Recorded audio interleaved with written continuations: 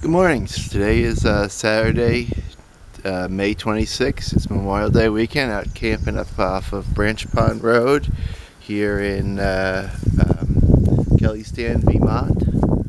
It's a nice morning. Uh, kind of filtered sun with the clouds. Uh, heating up a sausage, make some eggs up. I slept in late I was up till like after midnight last night. Because you know the black flies this time of year, the best time is actually after dark. Uh, solar panel's working fine. Um, just bringing the battery voltage up now automatically. It's at uh, 13.2 volts, so it's probably a little higher just there's a load on there because I have my phone and some other stuff charging. It should be charged by evening.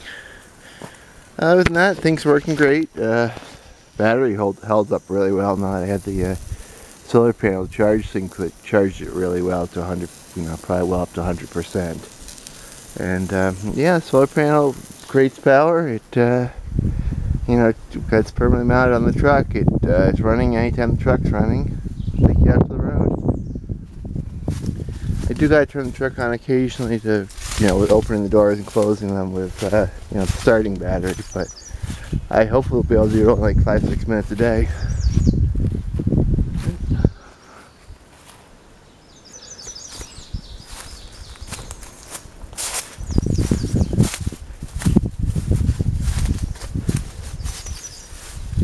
That's camp.